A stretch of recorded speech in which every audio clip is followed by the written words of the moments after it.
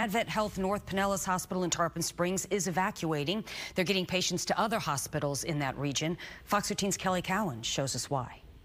With storm surge of five to seven feet projected here, Advent Health Hospital says it is evacuating some 60 patients to other hospital locations. Hospital officials say this is being done out of an abundance of caution and because of the hospital's proximity to the Gulf of Mexico. We evacuated for Hurricane Ian for the same reason, out of the abundance of caution and to make sure we could have both our patients and our team in uh, a safe environment during the hurricane. So um, really a great job by the team to, to move these patients and uh, make sure they're safe.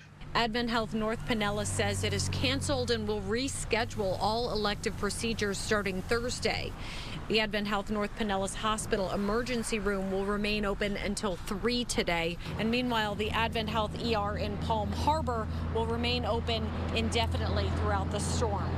In Tarpon Springs, Kelly Cowan, Fox 13 News.